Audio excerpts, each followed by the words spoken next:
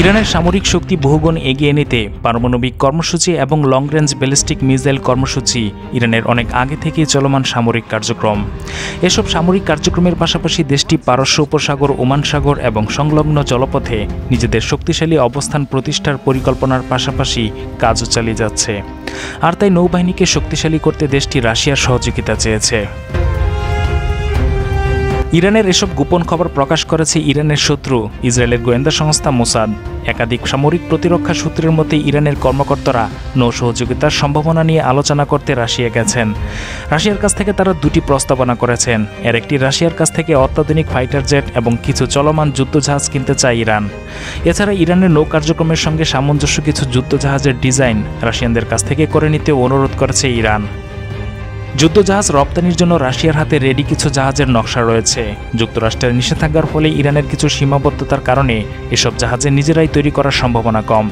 চুক্তি হলে সম্ভবত রাশিয়াতেই এগুলো বানানো হবে। নতুন ডিজাইন এবং বিদ্যমান জাহাজ উভয়ই ইরানের নিজস্ব ক্রুজ মিসাইল দিয়ে সজ্জিত করা হবে। সম্প্রতি বিভিন্ন সংবাদ মাধ্যমকে ইসরায়েল বলেছে, এই সহযোগিতা চীনের কাছ থেকে পাওয়ার আশা করেছিল ইরান, কিন্তু চীন সম্ভবত এখনই তাদের নৌ প্রযুক্তি দিতে চাচ্ছে না ইরানকে।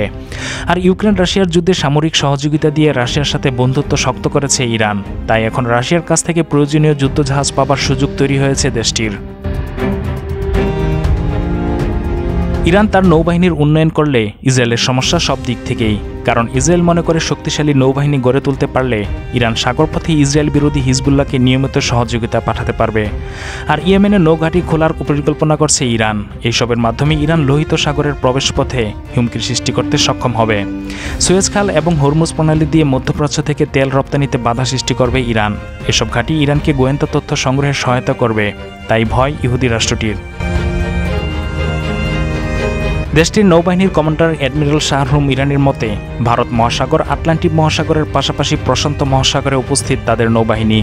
আন্তর্জাতিক জলসীমায় দেশীয় বাণিজ্যিক কন্টেনার এবং তেল ট্যাঙ্কারগুলোকে সুরক্ষা দেয়। পৃথিবীর প্রথম এয়ার ডিফেন্স বোর্ড তৈরি করেছে ইরানের ইসলামিক রেভলিউশনারি গার্ড কোর। কিন্তু দেশটির বড় যুদ্ধজাহাজ আরও প্রয়োজন। দেশটির জ্বালানি ট্যাঙ্কারের একটি বিশাল বহর রয়েছে। বিশাল তেল রপ্তানি কার্যক্রমকে রক্ষা করতে ইরানের নৌবাহিনীর জন্য নতুন যুদ্ধজাহাজ লাগবে। এটা ইসরায়েল ভালোভাবেই উপলব্ধি করে।